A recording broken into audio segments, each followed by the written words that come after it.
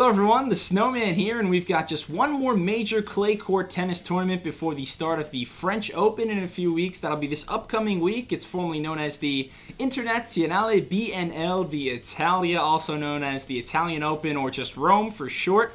And the draws are both out for the men and the women. On the women's side, it's a Premier 5 event, and for the men, a Masters 1000 level competition. Today, I want to look at the draw for the men for the Italian Open and uh, talk about some first round matchups and uh, who's who's looking good for Rome. And as we take a look now at the men's draw for the Italian Open, it is a loaded field. We've got 17 of the top 20 ranked players in the world playing at this event and the big surprise of them all, Roger Federer announced on social media this morning that he will be attending the festivities in Rome. So a lot of good players. Here in section one, we have at the top the one seed, the best player in the world right now, Novak Djokovic, who's coming off a fantastic week in Madrid where he is in the final right now. He's going to play either Stefano Tsitsipas or Rafael Nadal there. But he had a very solid week, uh, had a bye in the first round, then he took out Taylor Fritz, Jeremy Chardy, a walkover win against Marin Cilic, but the big the big impressive mark was defeating Dominic Thiem today 7-6 7-6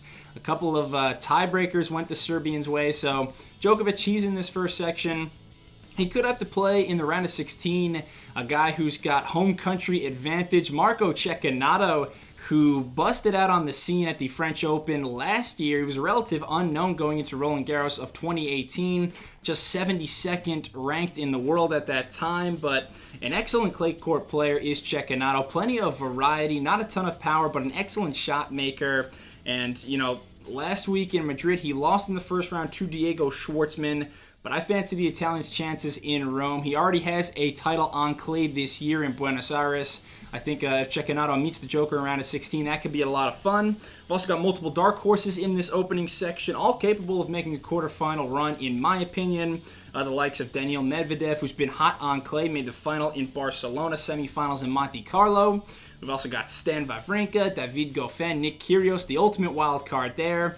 And uh, Juan Martín del Potro, the 7 seed, who uh, had a slow start in his return to the tour, uh, losing in the second round of Madrid to Laslo Djere. You know, his movement was a little bit unimpressive. It's going to take some time. I saw him live this year in Delray Beach. It seems like Delpo still, you know, he, he's got. It's going to take some time to get back to 100% fitness, but I think he's thinking big picture as long as he can be healthy for a run at the French Open. Section 2 now, in my opinion, up for grabs. We've got the 4 seed Alexander Zverev, who's overall had a disappointing 2019 so far. Uh, made the final in Acapulco, that hard court competition in Mexico, but just one total win between Indian Wells and Miami. Had a solid showing in Madrid then, uh, but was ousted in the quarterfinals to another young rising star in Stefano Tsitsipas those guys will see a lot of each other in the upcoming years. It's fun to watch them at this stage now. Uh, their head to head now stands at uh, 2 to 1 in favor of the Greek.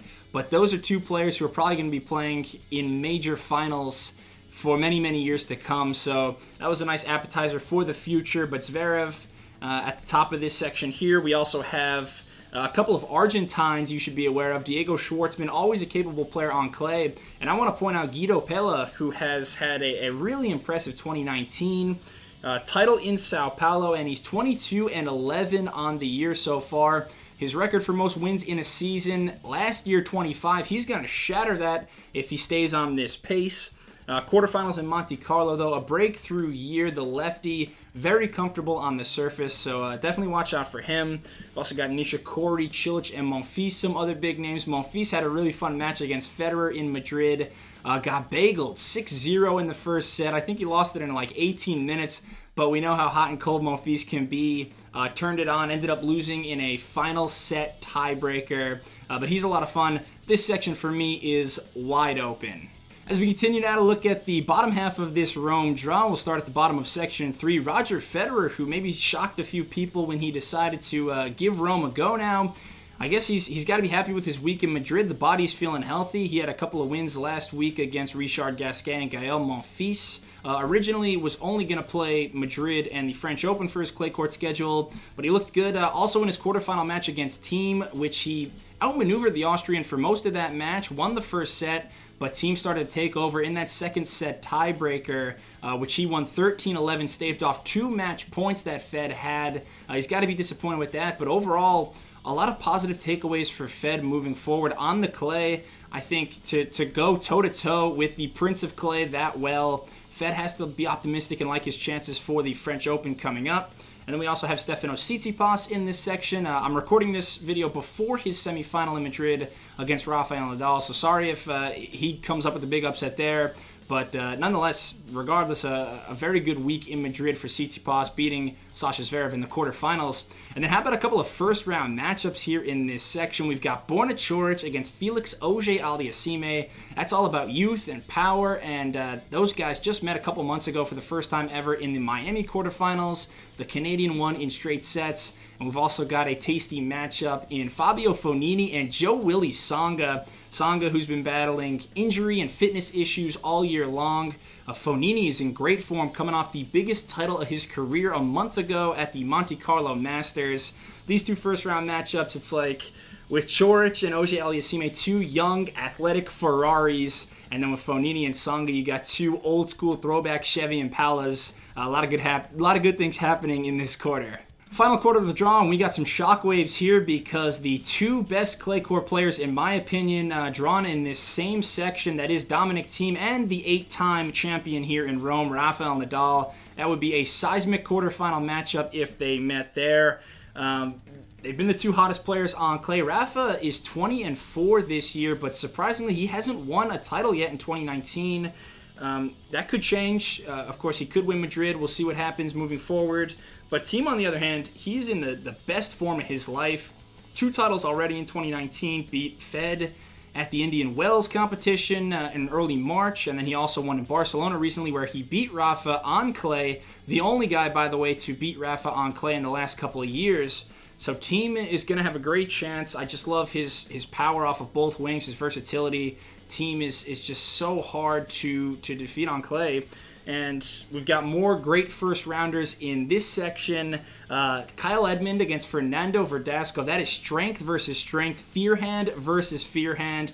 Whoever can get more uh, shots on their bread and butter side, going to probably have the advantage in that matchup. We also have Basilashvili versus Fucsovics. That'll be a, a manly man, kind of bare knuckles, vintage fist fight. Uh, very grueling physical rallies, I'm sure, but that'll be fun. And we've also got uh, a couple of Frenchmen, Gasquet and Chardy, who are going to duke it out and see who has the right to uh, likely lose to Nadal in the second round. But I'm, I'm hoping for another uh, installment of Nadal versus Thiem in the quarters here.